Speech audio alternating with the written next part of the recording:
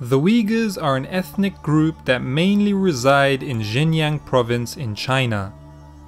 They are currently in the media spotlight due to the repression they face at the hands of the Chinese Communist government. But they have called northwestern China their home for more than a thousand years. Their history extends even further back than that. Like many other groups of steppe people, they have experienced things such as the establishment of a huge nomadic empire to the mass migration of the entire ethnic group.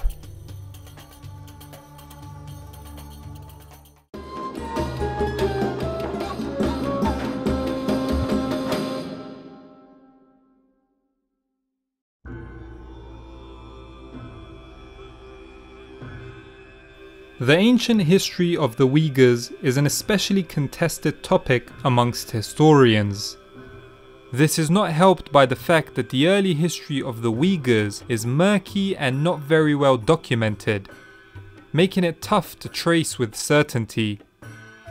As a result, we will begin our story in the 7th century, when the Uyghurs lived in Mongolia during this time, they were under the control of the Gokturks, who had established the Turkic Khaganate. This was a huge empire which stretched from Manchuria in the east to the Black Sea in the west.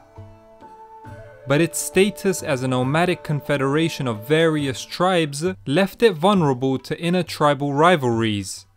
And this is essentially what brought down the Turkic Khaganate in the end, because in 744 the Uyghurs ganged up with the Basmils and the Karluks to take out the Gokturks. Subsequently, the Uyghurs took out the other two groups to take sole power and establish the Uyghur Khaganate. Ruling from its capital in Ordu Baliq, the Uyghur Khagan quickly expanded his authority all over Mongolia.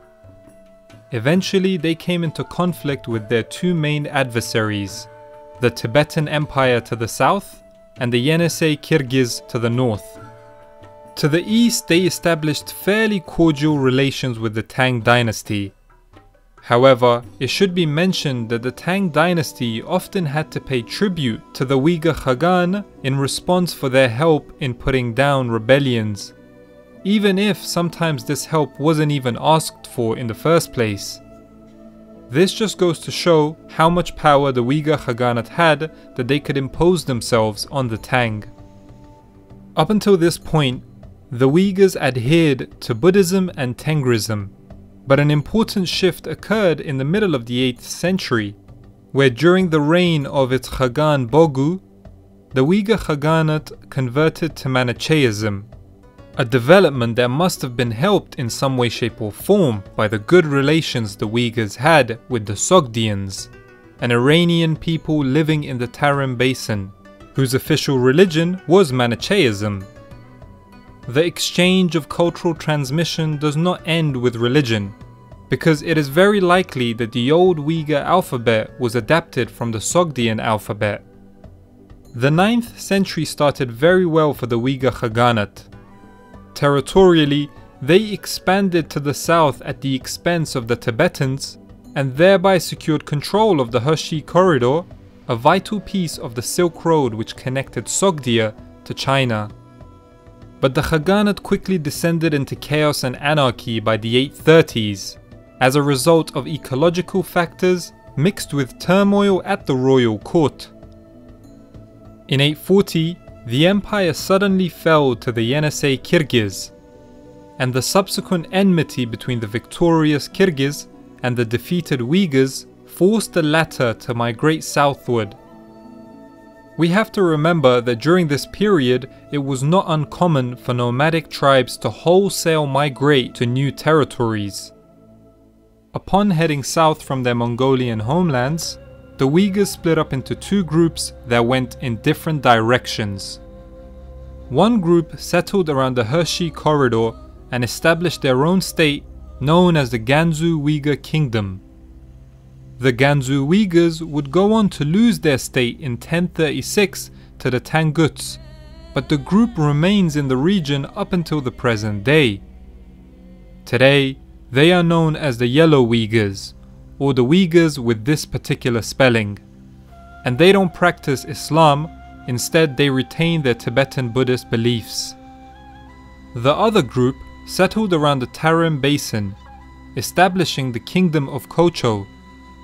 Initially, they also practiced Buddhism and Manichaeism. But the historical experience of the Uyghurs living under the Kingdom of Kocho was very different. This is because they came in contact with a bunch of different peoples in the Tarim Basin, including the aforementioned Sogdians and the Indo-European Tocharians. This mixing of cultures between a Turkic people and an Iranian people and the Indo-European people means that the type of culture that the Tarim Basin Uyghurs were going to have was going to be very different from the Yellow Uyghurs or even from their old Uyghur ancestors living in Mongolia. This divergence between the Uyghurs can be seen even on a phenotypical level, where the Uyghurs presently living in Xinjiang look as though they have far more Caucasian admixture as opposed to the Yellow Uyghurs who look much more East Asian phenotypically.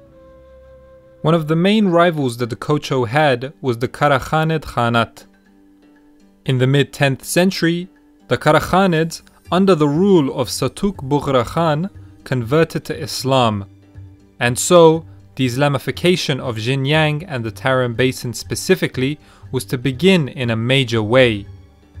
Having said that, the Uyghurs still clung on to their old religious beliefs of Tengrism, Buddhism, Manichaeism, and even Nestorian Christianity, it would still be at least a few centuries before the Uyghurs of the Tarim Basin would become Muslim. Before that was to happen, the region would witness the rise and fall of the Mongol Empire.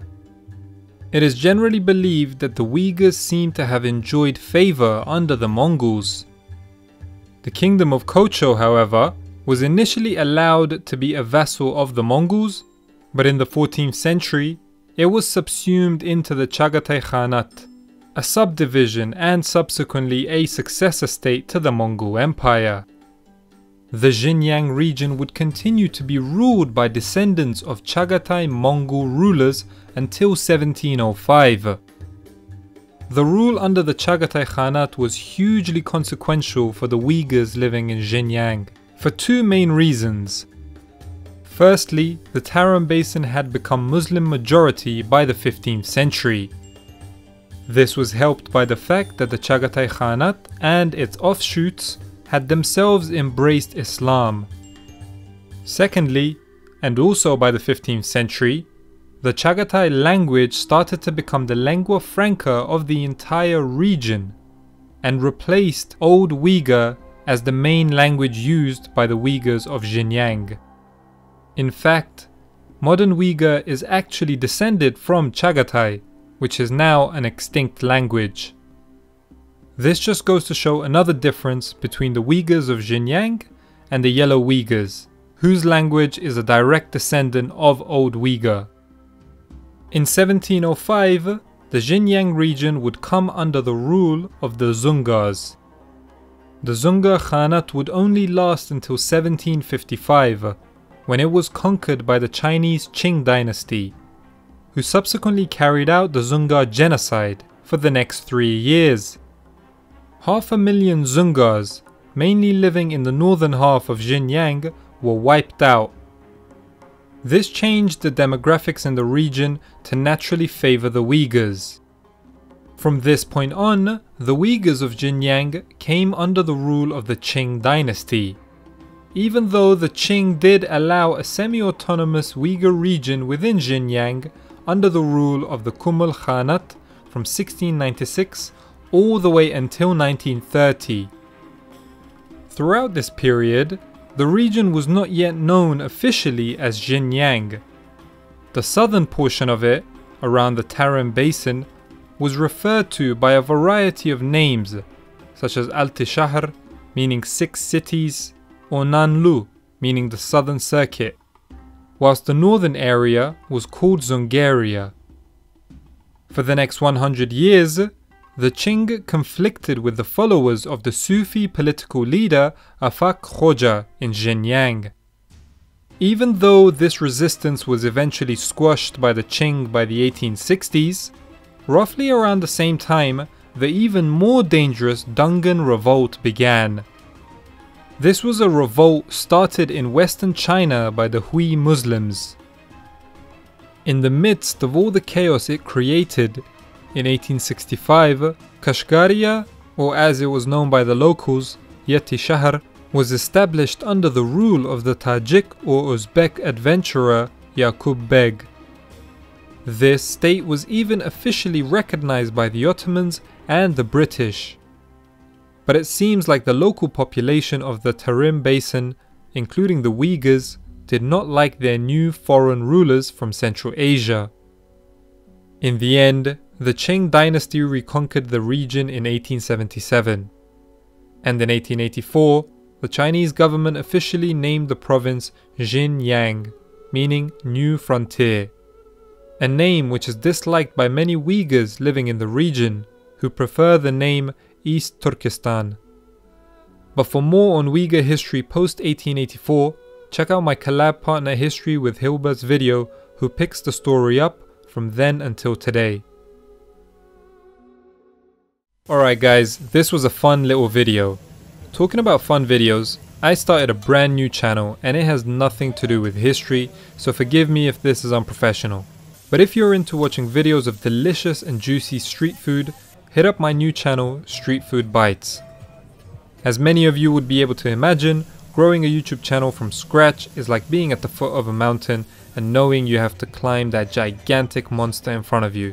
Like I know I'm gonna climb it, but I know it's also gonna be so long. You know what I'm trying to say? So your support at this early stage will be very, very, very much appreciated.